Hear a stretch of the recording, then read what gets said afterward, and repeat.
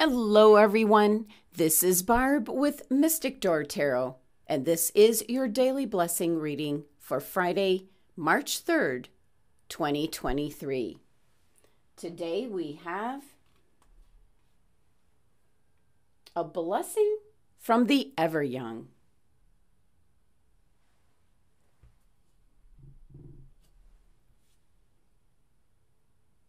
This is the gift of joyous energy that flows all the days of your life, whether you be young or an elder with many years behind you.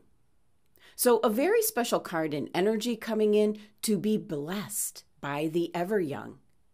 It is a blessing of the vitality that runs through your veins, the ability to move freely and joyfully, the sense that there are many years before you and that your energy is flowing and strong. Keep in mind, it is possible to be an elder, to grow older a little each day, yet be vital, full of the flow of life, and able to be who you are without fatigue, aches, or troubles. These things may come and go, but with this blessing, this pure gift comes to you today.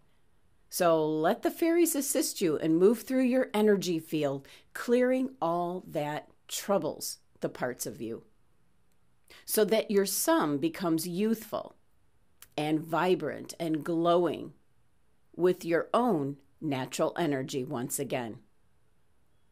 Keep in mind, growing older is the natural course of being a human.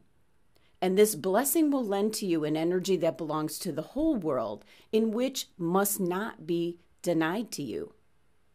So, fairy blessings of the ever young are coming in today to replenish your being.